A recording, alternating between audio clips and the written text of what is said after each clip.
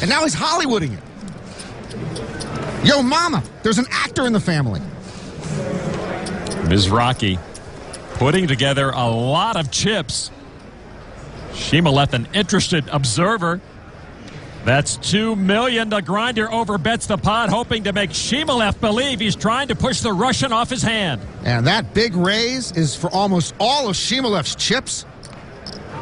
Virtually no margin for error here for Vladimir Shchemelev. Call. Shchemelev calls and the grinder flips over his trips, knowing he's taken another huge pot. And Shchemelev knows he is now crippled. The grinder is oh so close. I think Grinder might be the next Quentin Tarantino film. With an overwhelming chip lead right now. He can almost taste the $1.5 million first prize money and his first bracelet.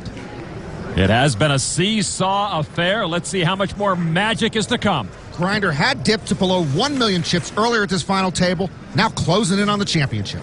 Mizrachi looks down at a queen and quickly raises.